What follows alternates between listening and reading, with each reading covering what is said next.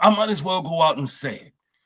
You were a background vocalist for Aaliyah. Yes, sir. How did you start being a background vocalist for one of the greatest talented artists on the face of the planet at the time, Aaliyah?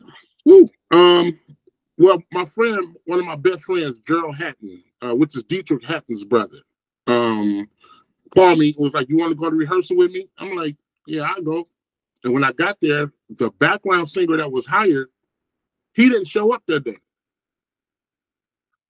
And the music director said, Come here, Marcus. Come and sing this note. I went up there and sung the note. Aaliyah walked in, like, who is that? And they was like, Oh, that's Marcus Devine.